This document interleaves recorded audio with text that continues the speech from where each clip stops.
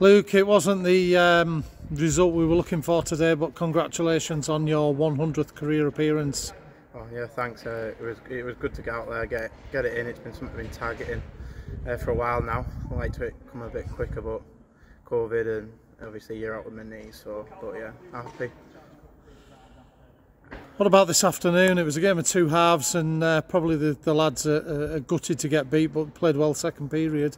Yeah, there's plenty of positives to take from it. I think um, obviously penalty count for us are a bit high, and kind of that that was our downfall today. But we defended really well. Um, could have been a lot worse, and uh, we nearly scraped a win at the end there. But um, never mind, we'll we'll uh, we'll dust off and go again next week. We didn't seem to get the rub of the green in the first half. Is that where frustration builds, and we we give away one or two penalties?